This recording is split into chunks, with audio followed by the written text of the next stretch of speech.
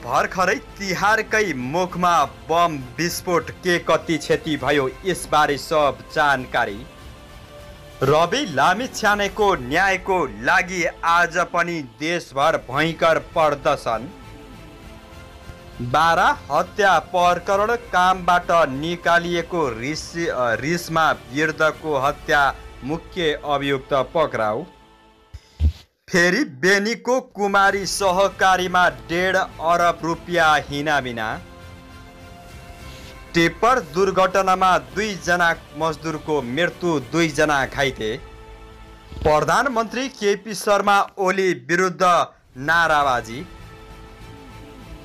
र रवि लामिछानेको रिहाईबारे पोखराबाट आयो भर्खरै कसैले नसोचेको खबर? आजको यो भिडियोमा यो सब अपडेटले हजुरमा आज उपस्थित भइसकेको छु। यो सब जानकारी पाउनको लागि भिडियोलाई सुरुदेखि अन्तिमसम्म फलो गर्नुहोला।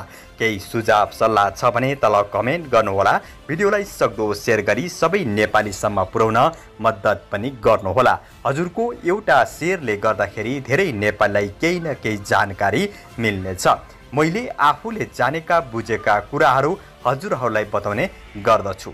नयाँ आउनु भएको छ अझै पनि हाम्रो यो नेपाली अनलाइन युट्युब च्यानलसँग जोडिनु भएको छैन भने सब्सक्राइब र साथमा रहेको घन्टीलाई दबाई हामीसँगै जोडिनुहोला। अब ढिला नगरिकन लागौँ आजको विषय वस्तुतिर दर्शकबिन बाह्र महागढी माई नगरपालिकामा छ दिन अगाडि भएको हत्या प्रकरणमा प्रहरीले मुख्य अभियुक्तलाई पक्राउ गरेको छ। महागढी माई नगरपालिका वडा नम्बर एकमा धारिलो हतियार प्रहार गरी भएको हत्या प्रकरणमा प्रहरीले सबुत प्रमाणसहित मुख्य अभियुक्तलाई पक्राउ गरेको हो। बाह्र प्रहरीले मृतक श्रीनारायण प्रसाद यादवकै गाउँले सुखा सुफाई चौधरीलाई पक्राउ गरेको सुरतले जनाएको छ। पक्राउ परेका चौधरी मृतक यादवको खेत जोतखन गर्ने व्यक्ति रहेको प्रहरी स्रोत बताउँछ। चौधरी नै मुख्य अभियुक्त रहेको पाइएको अनुसन्धानमा सहभागी एक अधिकारी बताउँछन्। पक्राउ परेका मुख्य अभियुक्त चौधरीलाई सबुत प्रमाणसहित दिउँसो पत्रकार सम्मेलन गरेर सार्वजनिक गरिने तयारी गरिएको बाह्र प्रहरी प्रवक्ता प्रकाश सापकोटाले जानकारी दिनुभयो। गएको शनिबार महागढीमाई नगरपालिका सेमरा निवासी श्री नारायण प्रसाद यादवमाथि धारिलो हतियार प्रहार भएको थियो। रातिको समयमा उनको टाउको पछाडि खुकुरीबाट प्रहार गरिएको थियो। गम्भीर घाइते भएका यादवको उपचारको क्रममा मृत्यु भएको थियो। घटना लगत्तै बाह्र अप्रेलले घटनाको अनुसन्धानमा स्पेसल टोली खटायो। प्रहरीको टोलीले लगातार गरेको अनुसन्धानपछि मुख्य अभियुक्तसम्म प्रहरी पुग्न सफल भएको स्रोतको दावी छ।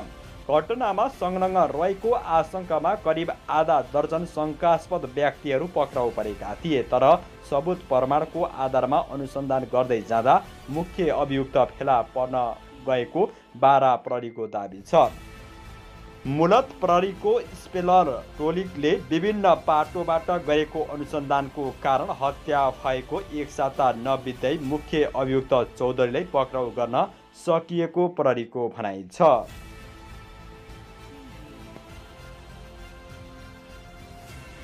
त्यस्तै दर्शकबिन विद्युत नियमन आयोगले डेडिकेटेड ट्र ट्रक लाइन सम्बन्धी महसुल उठाउन नेपाल विद्युत प्राधिकरणलाई निर्देशन दिएको छ। आयोगका सचिव मनदेवी श्रेष्ठले बुधबार प्राधिकरणलाई पत्रचार गर्दै दुई हजार बहत्तर माघदेखि दुई हजार पचहत्तर वैशाखसम्मको डेडिकेटर र ट्रक लाइनको बक्यौता महसुल असुल गर्न आग्रह गरेका हुन्।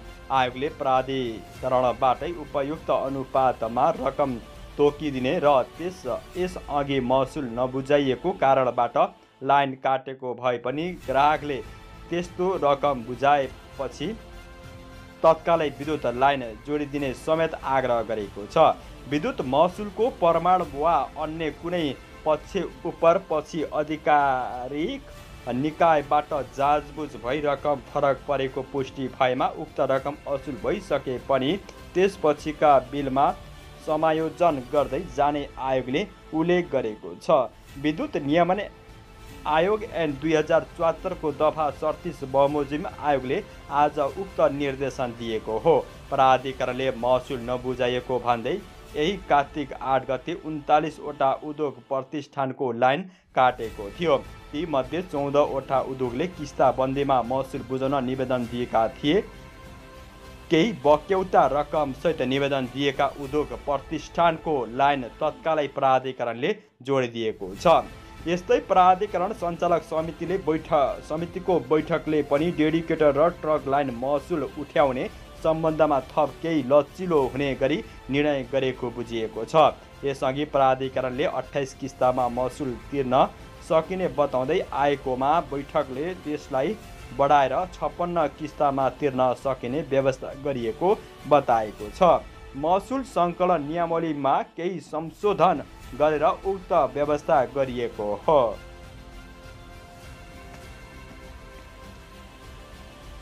त्यस्तै दर्शकबिन राजनीतिक पहुँच भएकाहरूको एउटा समूहले म्यादीको बेनी स्थित कुमारी बहुद्देश्य सहकारी संस्थाको डेढ अरब र नगद हिनाबिना गरेको खुलेको छ।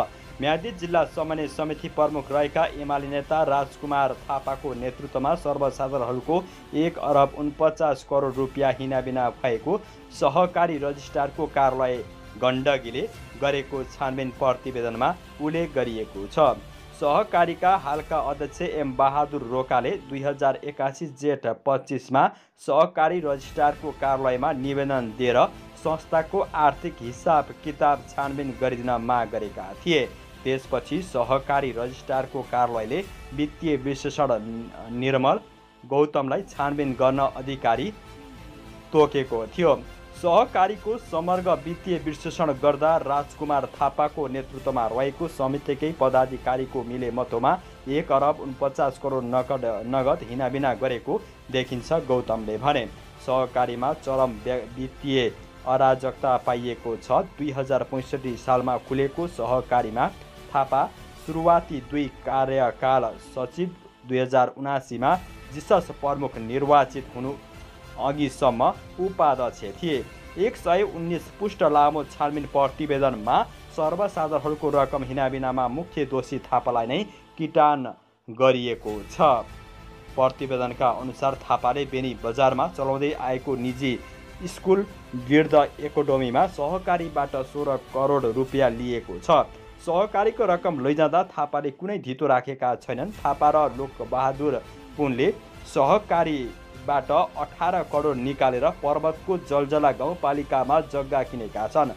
यस्तै सहकारीबाट दस करोड निकालेर राजकुमार थापा लोकबहादुर पुन गेम बहादुर घरतिर मनप्रसाद छजालीका नाममा जग्गा खरिद गरिएको छ। सहकारीको रकमबाट जग्गा खरिद गरेर प्लाटिङ गरेको छानबिन प्रतिवेदनमा उल्लेख गरिएको छ। उनीहरूले रकम निकाल्दा कुनै धितो राखिएको छैन। बिना धितो नगद झिक्ने बेला थापा बेला थापाले सहकारीका कर्मचारीहरूलाई धम्की दिएको अडियो रेकर्ड समेत समितिले छानबिन गरेको थियो। थापाकी श्रीमती र सहकारीका सञ्चालक समितिका पदाधिकारीका नाममा पन्ध्र करोड रकम निकासा भएको छ। सहकारीकै पूर्व व्यवस्थापक रुद्र बहादुर गुरुङले पाँच करोड लेखा समितिका पदाधिकारी लोकबहादुर पुनले तिस लाख रुपियाँ हिनाबिना गरेको पाइएको छ। सहकारीको बचत हिनाबिनामा संलग्न सबै जसो पदाधिकारीहरूले निकट छन् उनीहरूले सबै जसो कर्जा शून्य प्रतिशत ब्याज दरमा लिएको प्रतिवेदनमा उल्लेख गरिएको छ। सहकारीले गरेको आम्दानी नदेखाइएका नदेखाइएका समेत रकम हिनाबिना गरिएको छानबिन प्रतिवेदनमा उल्लेख गरिएको छ। सञ्चालक समितिमा रहेकाहरूले परिवारका सदस्यका नाममा सहकारीको अधिकांश सेयर राखेका छन्। सहकारीमा देशमै सबैभन्दा बढी ब्याज दर पाइने हल्ला चलाएर एकजनाकै पचास लाखसम्म बढी निक्षेप राखेर हिनाबिना गरिएको प्रतिवेदनमा उल्लेख गरिएको छ। सहकारीको कार्यक्षेत्र म्यादी जिल्ला हो। त्रितालिस सय छ्यासी बचतकर्ता रहेको कुमारी सहकारीमा चार सय अठारजना मात्र सेयर सदस्य छन्। सेयर सदस्यहरू रकम हिनाबिनामा संलग्नकै परिवा पारिवारिक व्यक्ति मात्र रहेका छन्।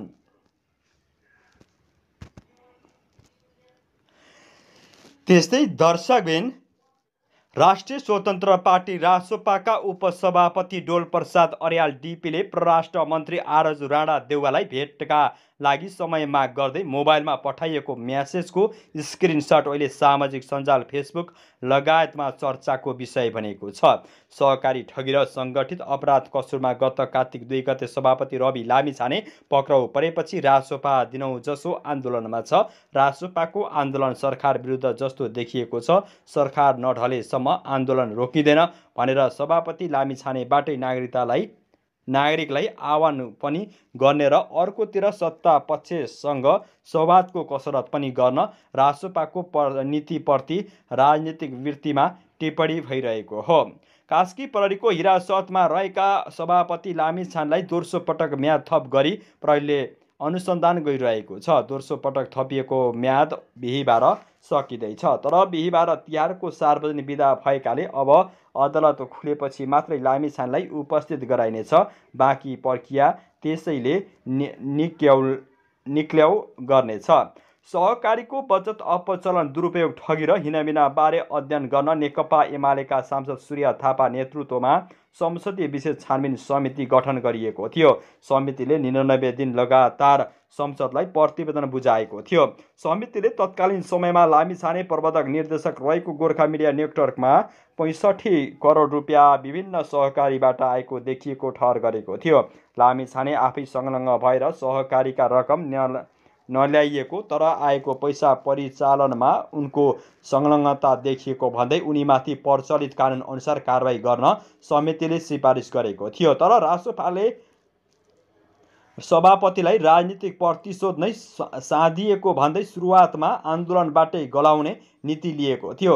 यसै बिचमा राजसपाले दुई दुई उपसभापति डिपी अर्याल र सोडिम वाग्लेलाई अलग अलग जिम्मेवारी दिँदै आन्दोलन सशस्त्र बनाउने निर्णय गरेको थियो। कार्तिक दस गते बसेको केन्द्रीय समितिको बैठकले आन्दोलन सञ्चालन गर्न उपसभापति अर्यालको सहयोगजक्तोमा मूल समिति गठन गरेको थियो।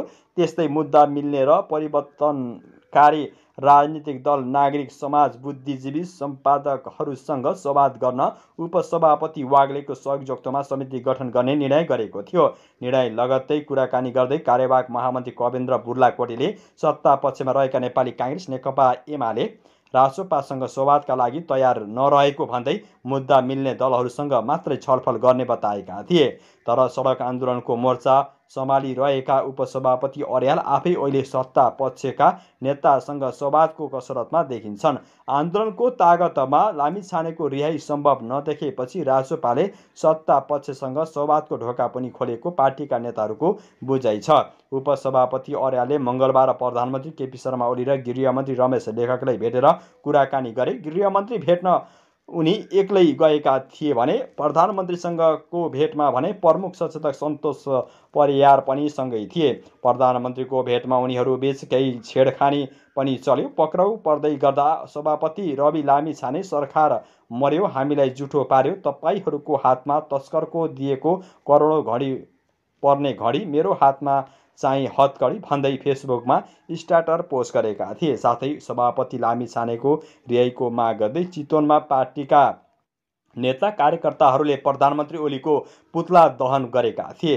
सभापति लामी छानेको अभिव्यक्ति र चितवनको प्रदर्शन प्रधानमन्त्री ओलीलाई ओलीलाई बिजाएको रहेछ। नयाँ भनिएका दलहरूको पनि पुरानै पाराको प्रदर्शन भन्दै प्रधानमन्त्री ओलीले छेडखानी गरेको प्रमुख सचेतक परिवारले बताए। चितवनको पुतला दहन पार्टीको नीति नीति घोषित कार्य कार्यक्रमको स्वरूप नभएको भन्दै गल्ती महसुस गरिएको र उत्पादन उत्पादन त त्यस्ता गतिविधि नहुने जानकारी पनि प्रधानमन्त्रीलाई गराइएको उनले बताए। उपसभापति अर्याल र प्रमुख सचेतकले प्रधानमन्त्री र गृहमन्त्रीलाई भेट्नुको तात्पर्य बुधबारको बालुवाटर घेराउ शान्तिपूर्ण हुने जानकारी गराउनु रहेको बताउँदै आएका छन्। प्रधानमन्त्री ओलीको सचिवालयले भने भेटवार्ता त्यतिमा मात्रै सीमित नरहेको बताउँछन्। प्रधानमन्त्री ओलीसँगको भेटमा राजसपाका नेताहरूले रवि लामी छानेमाथि प्रतिशोध साधिएको बताएका थिए।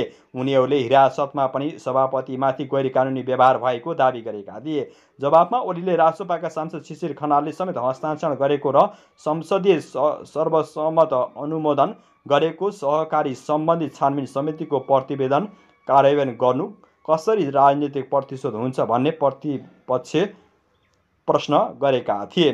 तपाईँहरूको सांसदले हस्ताक्षर गरेका छन्। प्रतिवेदनमा फरक मत छैन। सांसदले सर्वसम्मत मनो अनुमोदन गरेको प्रतिवेदन कार्यान्वयन गर्नु सरकारको कर्तव्य हो। सरकारले आफ्नो दायित्व पुरा गर्दा कसरी राजनीतिक प्रतिशोध हुन्छ?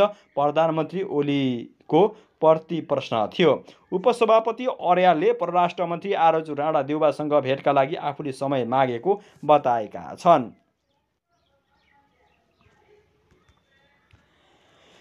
त्यस्तै दर्शकबिन फेरि भर्खरै केही दिनअघि प्रेसर कुकर विस्फोट भएर घाइते भएकी मोरङको बेलवारी नगरपालिका छ सोमबारे बोराबाँधकी महिलाको मृत्यु भएको छ।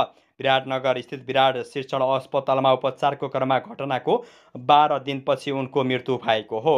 बोराबाँधकी सबिना मगर अडतिसको बिहिबार बिहान आठ बजे मृत्यु भएको प्रहरीले जनाएको छ। घरमा खाना पकाउने क्रममा गत तिन कार्तिकको बिहान करिब नौ बजे प्रेसर कुकर विस्फोट हुँदा उनी घाइते भएकी थिइन्। कुकरको सिटीले निधारमा लागेर गम्भीर घाइते भएकी उनलाई उपचारको लागि अस्पताल भर्ना गरिएको थियो। मोरङ प्रहरीका डिएसपी वेद प्रकाश जोशीले कानुनी प्रक्रिया पुरा गरेर सबलाई पोस्टमार्टमको लागि पठाइएको जानकारी दिनुभयो।